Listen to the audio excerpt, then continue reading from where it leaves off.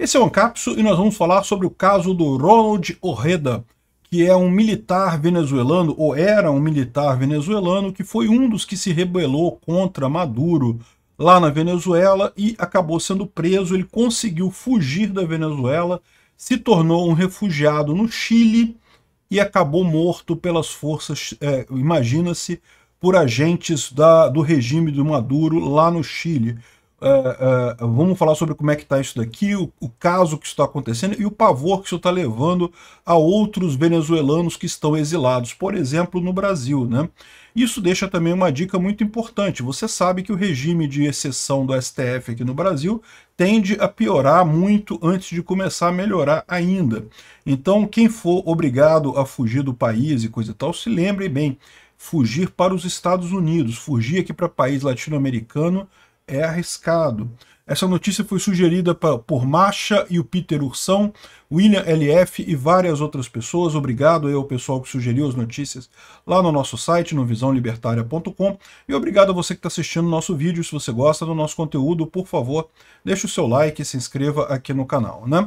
Pois bem, como eu estava falando, isso daqui tem, é, um, é um assunto apavorante e me espanta a pouca repercussão que está tendo isso aqui no Brasil. Né?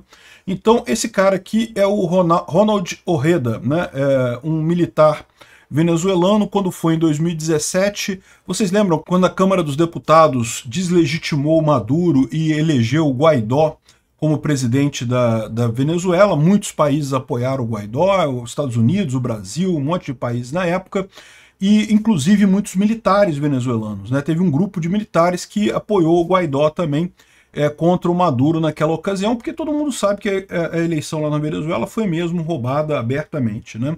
Enfim, uh, uh, ele acabou preso nessa época, né? o Maduro não caiu, o, o Ronald Orreda e vários outros militares acabaram presos.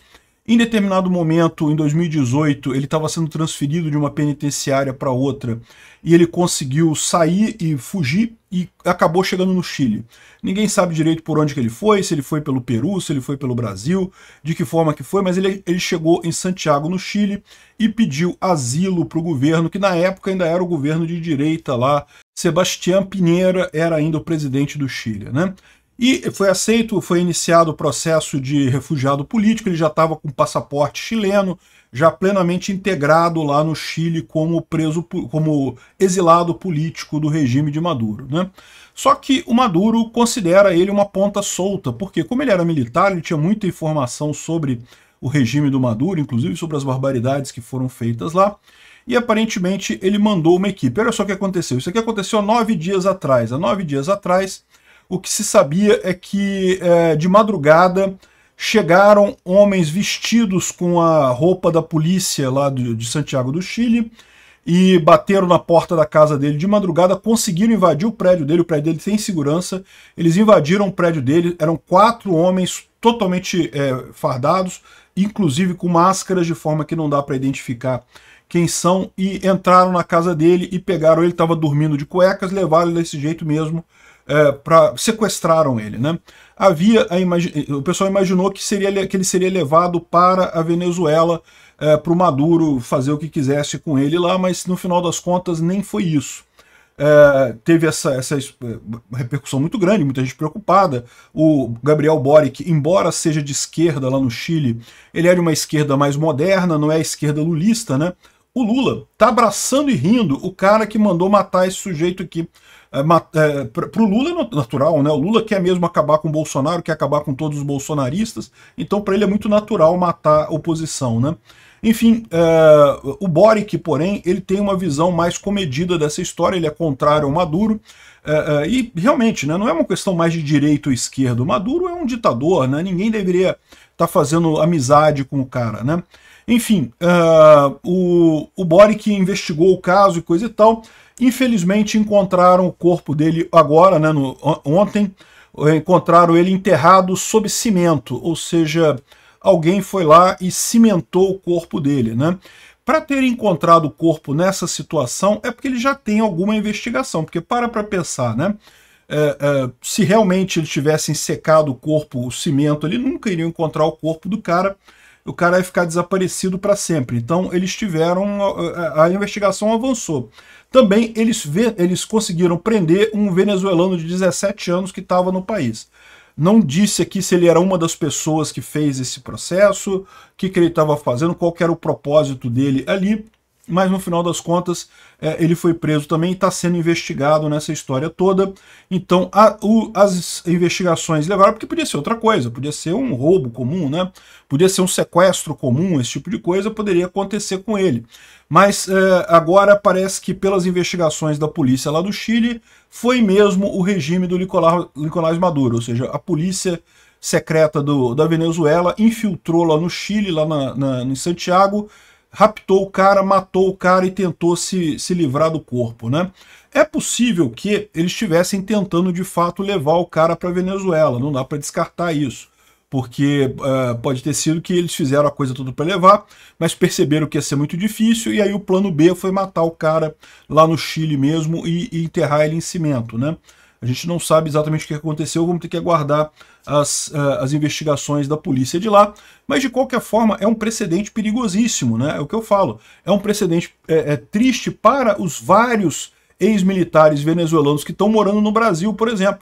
Estão apavorados com isso, porque o Maduro provavelmente Maduro está sendo treinado pelo Putin, né? Vocês sabem, o Putin está com um grupo grande lá na Venezuela, tem um pessoal de, é, é, é, do tipo mesmo, do estilo mesmo do Putin de matar gente, cair de escada, cair de janela, envenenamento, esse tipo de coisa, e daí trein, tá treinando as forças é, é venezuelanas para esse tipo de coisa. É algo preocupante realmente, porque se fez lá no Chile, para fazer aqui no Brasil pouco custa. E aqui no Brasil ainda tem a vantagem do Lula ser plenamente favorável ao Maduro, né? Se isso aqui tivesse acontecido no Brasil, o pessoal ia estar tá falando, não, porque o cara deve ter se envolvido com más pessoas, com tráfico de drogas e não sei o que lá, ia estar tá tentando passar pano para o Maduro, né? Lá no Chile, pelo menos, o Boric é esperto o suficiente para perceber que é roubada. Não, realmente foi o Maduro que fez esse assassinato, que matou o opositor que estava no Chile, né? E ficou todo mundo preocupado aqui no Brasil, evidentemente. E eu diria mais, nós brasileiros temos que nos preocupar também, eu aviso para vocês isso. Eu acho que a ditadura do Alexandre de Moraes ela ainda vai piorar antes de começar a melhorar. É, é, ou seja, ainda temos muitos anos aí para nos livrarmos desse, desses absurdos que o STF está faz, tá fazendo. Então, os que forem perseguidos, prestem atenção nisso daí, tá? Eu mesmo fui na Argentina, achei muito bacana lá, achei legal. Uruguai também, muito lugar, lugar lindo de morar e coisa e tal, mas o problema da segurança é muito grande. Quando começarem a perseguir é, com um agente secreto para matar opositor por aí, é bom você estar tá num estado que tem um pouco mais de defesa, como é o caso dos Estados Unidos. Não é que seja impossível de fazer isso nos Estados Unidos, né? Lógico, já tem casos no passado disso. Na Inglaterra também já teve opositor do Putin é, sendo morto na Inglaterra por, é, por envenenamento e coisa e tal, mas é mais difícil. Você tem algum grau de proteção nessas coisas. Então, fiquem atentos aí, a coisa realmente é séria. A esquerda está se sentindo tão é, abalada, tão sem poder no final das contas, que está tá recorrendo aos, aos métodos mais absurdos. Obrigado por assistir o vídeo até o final. Além de curtir, compartilhar e se inscrever no canal, considere se tornar patrocinador com valores a partir de R$ 1,99. Clique no botão Seja Membro abaixo para saber as condições e vantagens de patrocinar o canal. Mais informações sobre o nosso projeto, visite nossos sites indicados na tela.